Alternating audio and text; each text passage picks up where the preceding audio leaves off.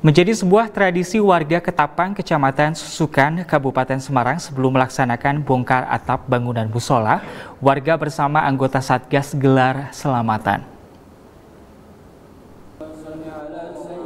Warga Musola Al-Huda di Dusun Sari Mulyo, Desa Ketapang, Kecamatan Susukan, Kabupaten Semarang menggelar selamatan terlebih dahulu sebelum membongkar atap bersama anggota Satgas.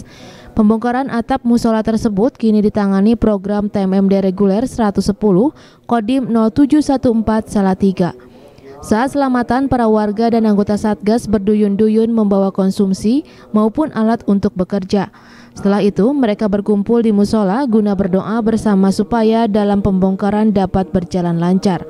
Pemimpin doa sekaligus kadus setempat mustajab mengutarakan bahwa kegiatan rehab tersebut merupakan bagian dari kegiatan pembangunan TMMD reguler 110 Kodim 0714 Salatiga. Sebelum dibongkar, kondisi atap musola berbentuk biasa.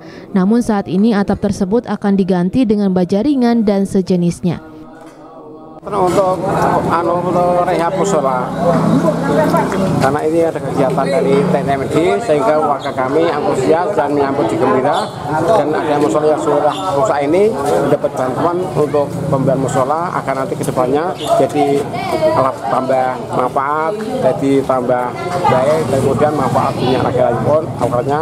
Kemudian nanti mudah-mudahan dari masyarakat ini menjadikan uh, milik ekonomi dan juga menjadikan persatuan kesatuan sehingga zamannya lebih banyak.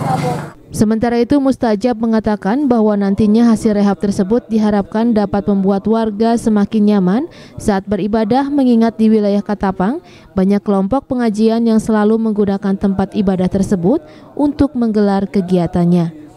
Tim Liputan Bandung TV